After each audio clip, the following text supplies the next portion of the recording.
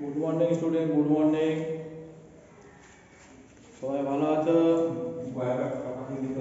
কয়াপাট প্রাথমিক বিদ্যালয়ের reading room থেকে সকলকে আবার স্বাগত। দেখো, এখানে একটা ছবি টাঙিয়ে দিচ্ছি। ছবিটা তোমরা ভালো করে দেখো। কি দেখতে পাচ্ছ? এগুলো দেখে কি মনে হচ্ছে এগুলো বলো? কোথা থাকে? রেল স্টেশনে থাকে, তাই তো? হ্যাঁ ঠিকই বলেছ। এটা স্টেশন। এখানে একজন দেখতে পাচ্ছি যে ভদ্রলোক যাচ্ছেন, আর আগে আগে আর একজন মহান মানুষ যাচ্ছেন। গল্পে আমরা পাবো তার ওনার পরিচয়, আর তার মাথায় একটা ব্যাগ আছে। দেখো। এটা হচ্ছে কারমাটা রেল স্টেশন। এই কারমাটা রেল স্টেশনটা বর্তমানে আগে বিহারে ছিল, বর্তমানে ঝাড়খণ্ড রাজ্যে এটা অবস্থিত। বিদ্যাসাগর মহাশয় আর শেষ বয়সে ওখানে গিয়ে বেশ কিছু সময় মাঝে মাঝে কাটাতেন এবং লেখালেখি করতেন। তাই এই কারমাটা স্টেশনটা বর্তমান নাম হয়ে গেছে বিদ্যাসাগর রেল স্টেশন। কি নাম হয়েছে? Vidyasagar Vidyasagar, rail station.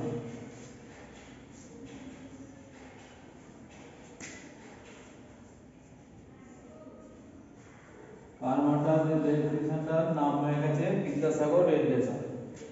দেখো, এখানে বলা হয়েছে নিজের হাতে নিজের কাজ।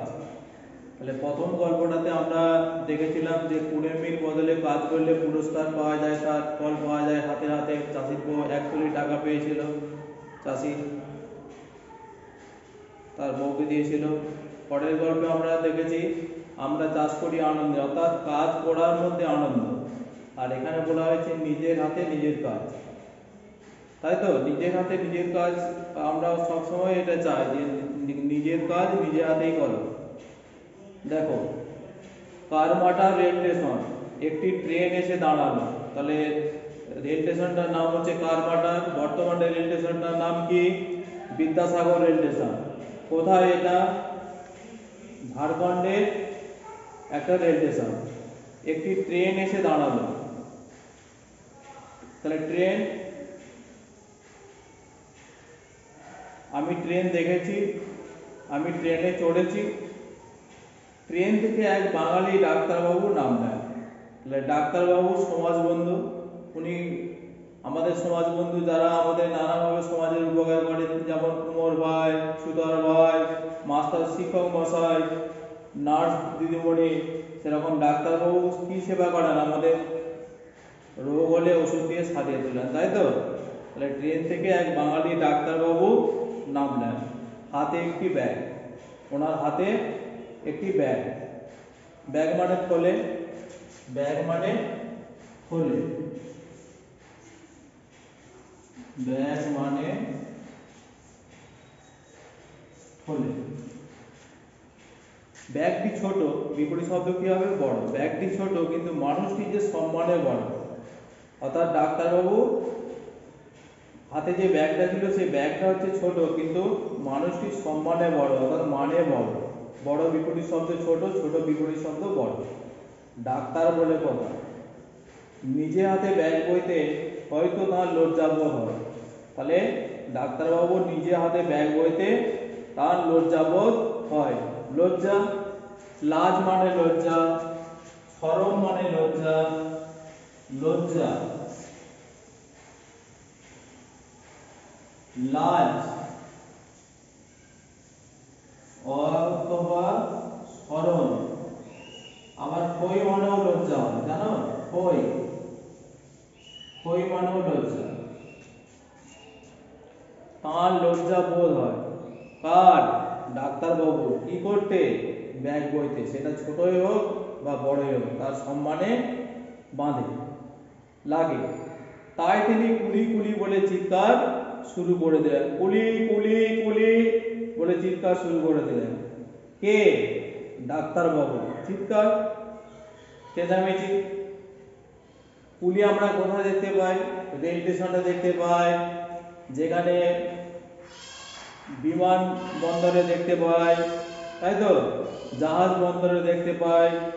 আবার বাজারেও যেখানে বাস স্টপেজ, সেই স্টপেজের ওখানেও আমরা কুলি দেখতে পাই। তাদের কাজ হচ্ছে মালপত্র তুলে বহন করে নিয়ে যাওয়া। এখানে দেখো আমরা দেখতে পাচ্ছি যে ডাক্তারবাবু পিছনে পিছনে যাচ্ছেন, ওনার সামনে এক ভদ্রলোক। এখানে যদিও কুলি বলে পরিচয় দেওয়া হয়েছে, পরে সেটা জানা যাবে। তো ব্যাগটি নিয়ে যাচ্ছে। তাহলে ডাক্তারবাবু যখন তার সম্মানে খুব মানে বাঁধছে যে ব্যাগটা নিজে হাতে বইবে, তখন তিনি কুলি কুলি বলে চিৎকার শুরু করে দিলেন। সঙ্গে সঙ্গে এক কুলি এসে হাজির। সঙ্গে সঙ্গে এক কুলি এসে কি হয়েছে? হাজির হয়েছে। কোথায়? তার ডাকে ডাক্তারবাবুর কাছে। হাজির। হাজির মানে উপস্থিত। হাজির। হাজির মানে উপস্থিত।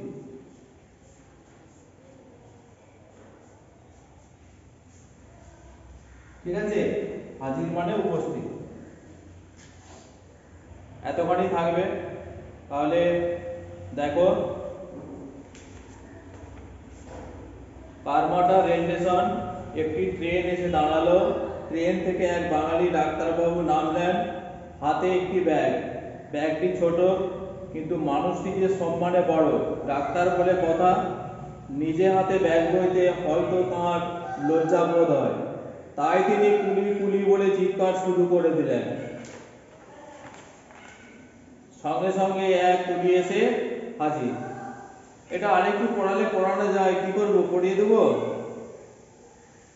আচ্ছা দেখো, আরেকটু হয়ে যাক, আরেকটু হয়ে যাবে। আরেকটু হয়ে যাবে। এটা আমি পরে, পড়ে দিচ্ছি এটা। পুলি ডাক্তারবাবুর ব্যাগ মাথায় তুলে নিয়ে স্টেশনের বাইরে অপেক্ষারত পালকিতে তুলে দিল। তাহলে পুলি ডাক্তারবাবুর ব্যাগটা মাথায় তুলে নিয়ে স্টেশনের বাইরে অপেক্ষারত যে পালকি অপেক্ষা করছিল, তাতে তুলে দিলেন তুলে দিল। তারপর সে চলে যেতে উদ্যত হলো, অর্থাৎ প্রস্তুত হলো। উদ্যত মানে প্রস্তুত, যাওয়ার জন্য তৈরি। ডাক্তারবাবু উদার মনোভাবের মানুষ। ডাক্তারবাবু উদার মনোভাবের মানুষ। উদার মানে মহৎ। উদার মানে হচ্ছে উদার মানে হচ্ছে মহৎ।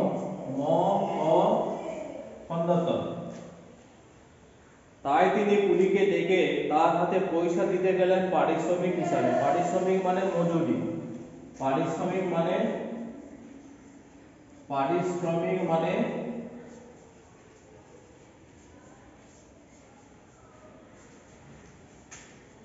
মজুরি তাহলে এটা হলো কারমাটা থেকে হিসাবে পর্যন্ত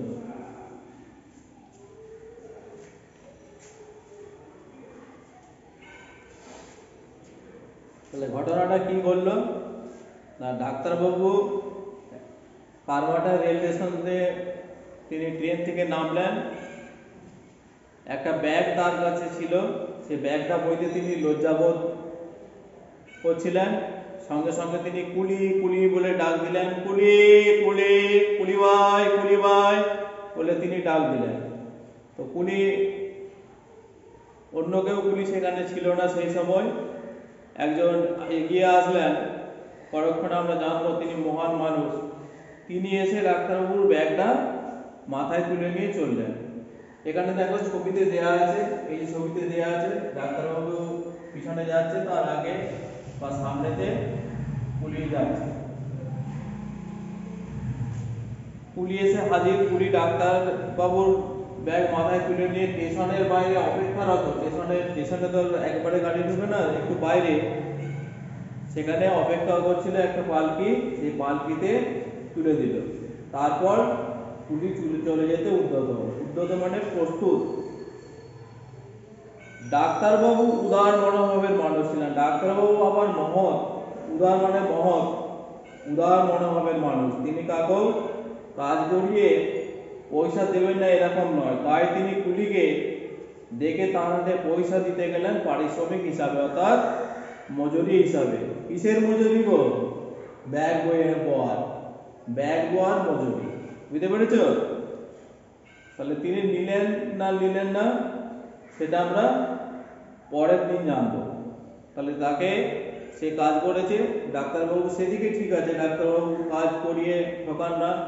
তিনি কাজ করিয়েছেন, কাজ করিয়ে সেই কুলিকে তার পারিশ্রমিক হিসাবে কিছু টাকা, কিছু পয়সা দিতে গেলেন।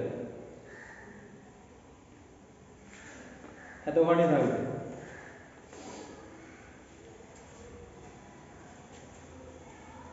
আর একবার রিডিং করে দিচ্ছি, দেখে নাও। কারমাটা রেল স্টেশন, একটি ট্রেন এসে দাঁড়াল। ট্রেন থেকে এক বাঙালি ডাক্তারবাবু নামলেন হাতে একটি ব্যাগ ব্যাগটি ছোট, কিন্তু মানুষটি যে সম্মানে বড়। ডাক্তার বলে, কথা, নিজে হাতে ব্যাগ বইতে হয়তো তাঁর লজ্জা বোধ হয়। তাই তিনি কুলি কুলি বলে চিৎকার শুরু করে দিলেন। সঙ্গে সঙ্গে এক কুলি এসে হাজির। কুলি ডাক্তারবাবুর ব্যাগ মাথায় তুলে নিয়ে স্টেশনের বাইরে অপেক্ষারত পালকিতে তুলে দিল। তারপর সে চলে যেতে উদ্যত হল। ডাক্তারবাবু, উদার মনোভাবের মানুষ, তাই তিনি কুলিকে ডেকে তার হাতে পয়সা দিতে গেলেন পারিশ্রমিক হিসাবে। আজ এতখানি, বাকিটা পরের দিন হবে। ঠিক আছে? ওকে।